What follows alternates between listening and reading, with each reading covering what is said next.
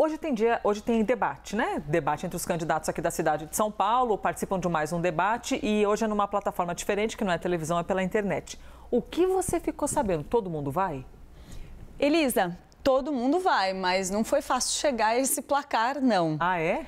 A gente teve aí, quem acompanhou um pouco a discussão é, sobre as eleições aqui em São Paulo ao longo do fim de semana, deve ter pego é, um arranca-rabo ali entre o candidato do pessoal Guilherme Boulos e o prefeito de São Paulo, Ricardo Nunes. Porque Ricardo Nunes tinha avisado que não pretendia ir ao debate, porque vem argumentando aí que havia um número muito grande de confrontos, que isso estava prejudicando algumas agendas eh, de campanha, agendas de rua.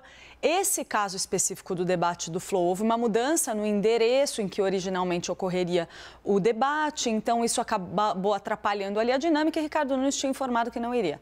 Guilherme Boulos foi então a público para criticar o prefeito, aproveitando, lógico, criticar o prefeito e dizer que ele estava fugindo do debate. E aí o prefeito retaliou. Eh, divulgou uma nota onde também se queixou da manifestação do seu colega. E aí sei que a campanha sentou, avaliou, discutiu e hoje, hum. de manhã cedinho, só hoje de manhã cedinho, o prefeito então bateu o martelo, segundo as pessoas da campanha dele com as quais eu conversei, e decidiu que vai participar do debate do Grupo Flow, hoje marcado para as 19 horas. Então vai. Vale a gente lembrar, né, Elisa, que essa, é, essa, esse vai e vem todo acontece depois de um período em que houve uma divisão ali na campanha do prefeito Ricardo Nunes, no começo da semana passada, depois daquele bate-boca que ele teve é, num debate com Pablo Marçal. Aquilo gerou uma preocupação em uma ala da campanha que dizia que achava que ele tinha que parar de ir em tantos debates ou reduzir ao máximo a sua presença em alguns confrontos, reservando ali para os principais na televisão a sua participação.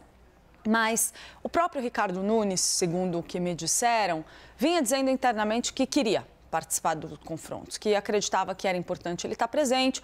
E aí prevaleceu aí, segundo as informações de hoje cedinho, a ideia então de que o prefeito vai participar e estarão ali então presentes os cinco principais candidatos.